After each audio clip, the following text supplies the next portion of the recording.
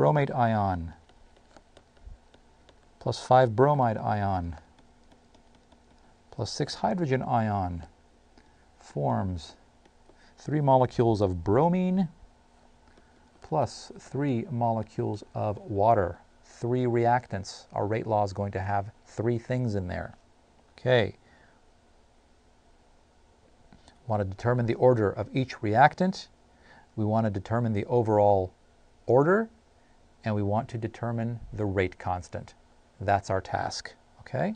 So let's write it down. Determine the order of each reactant, the overall order, and rate constant. Okay. Well, here's our experimental data. Well, let's go ahead and write the rate law first, the general. So the rate is equal to some constant k.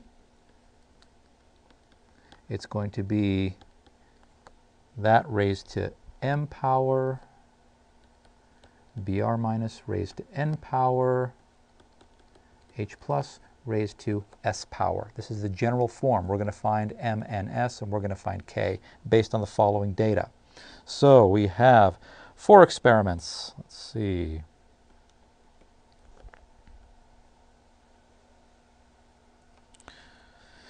Experiment BRO3 minus, BR minus, H plus, and initial rate. All right. Experiment one, two, three, four. 2, 3, 4, 0 0.10, 0 0.10, 0 0.10. Initial rate is 8 times 10 to the negative 4. 0 0.20, 0 0.10, 0 0.10. Notice I've only changed one thing, in this case, the concentration of the bromate. Bromate, bromide, hydrogen ion. We get 1.6 times 10 to the negative 3. That's interesting, okay. 0 0.20, 0 0.20, 0 0.10. This time from here to here we've changed the bromide. We end up with 3.2 times 10 to the negative 3. And the fourth one, 0 0.10, 0 0.10, 0 0.20. We've gone back 0. Point, that's the same, that's the same, that's what's different. We end up with 3.2 times 10 to the negative 3.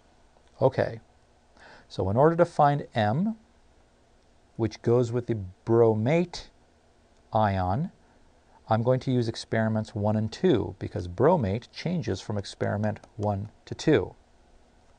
So let's go ahead and do that. I'm just going to go ahead and write it out without writing absolutely everything. So rate 1 divided by rate 2 equals 8 times 10 to the negative 4 divided by 1.6 times 10 to the negative 3 equals, well, the rate is equal to that whole expression is equal to k times, and now I'm going to stop using brackets, I'm just going to use parentheses, but I do mean concentrations. Um, concentration 0.1 to the m, 0.1 to the n, 0.1 to the s, over k times 0.2 to the m, 0.1 to the n, 0.1 to the s. We have a whole bunch of cancellations. The only thing that doesn't cancel is this. So this number is equal to 1 half equals 1 half to the m power. That implies that m equals 1. Therefore, the bromate power is 1. We're done with that. Now let's compare rate 2 and rate 3. In other words, experiment 2 and experiment 3. Rate 2 divided by rate 3 equals 1.6 times 10 to the negative 3 over 3.2 times 10 to the negative 3 equals k times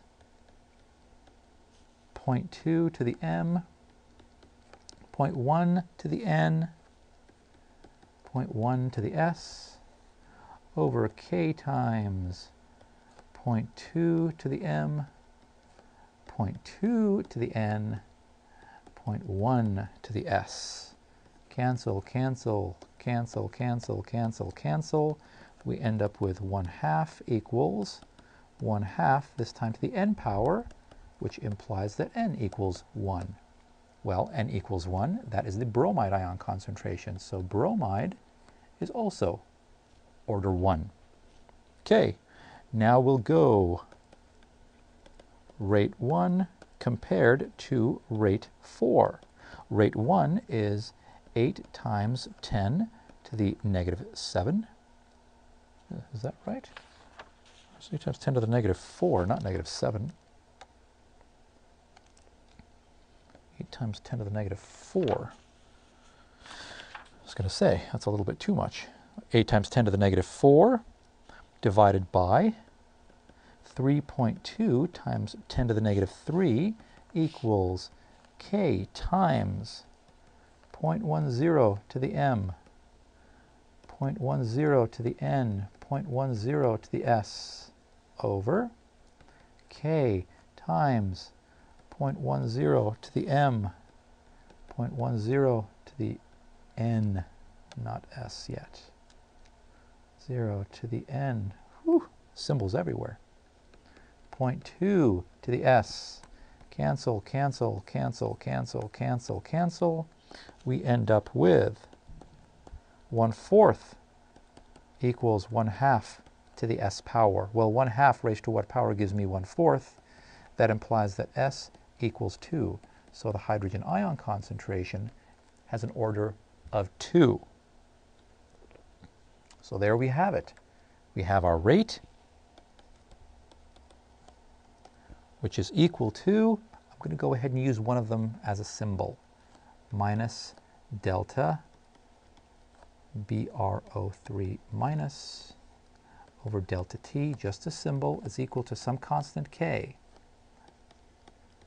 BRO3 minus to the first power, BR minus to the first power, H plus to the second power. This is our differential rate law. Uh, you can just that. This is just a symbol that says the rate is. The rate of depletion of bromate is equal to some constant times this, this, this squared. That's what's going on. Now I take any one of the experiments, I put the values of the experiments in for that one, that one, that one, and I have the rate because I calculated the rate. It's part of the data, and I solve for k. So I'm going to go ahead and take, uh, let's just take experiment 1. It's not a problem. Okay, so I get 8.0 times 10 to the negative 4 equals k times 0.10 times, uh, that's the bromate concentration. The bromide concentration is 0.10, and this other one is 0.10 squared. When I solve for k, I get 8. In this particular case, it is liters cubed over moles cubed second. And again, uh, the, the, unit doesn't really tell you all that much. It just tells you what's going on up here. But the num real, this number is what's important. So, the order of bromate is 1. The order of bromide is 1. The order of hydrogen ion is 2. The overall order is 1 plus 1 plus 2. The overall order is 4. The rate constant is 8. Okay? So that's the method of initial rates. You write down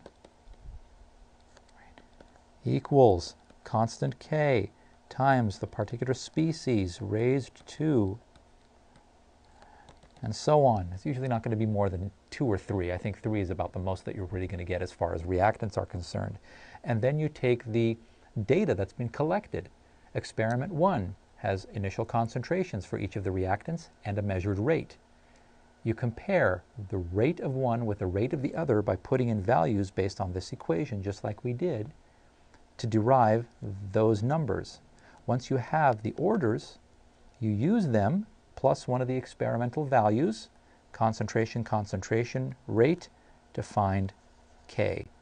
And now you have your final differential rate law. So in this particular case, we get the rate is equal to 8 times that, that, that, the rate of the reaction. Now I can plug in any concentration I want and randomly, okay, 0.2, 6, 19, whatever. And based on this that I derived from experiment, I can tell you what the rate of the reaction is going to be, how fast it's going to be. Okay,